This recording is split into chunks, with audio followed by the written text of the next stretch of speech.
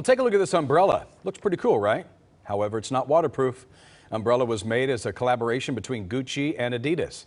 The brand say it's not designed to stop rain, but meant as a fashion accessory and to provide shade from the sun.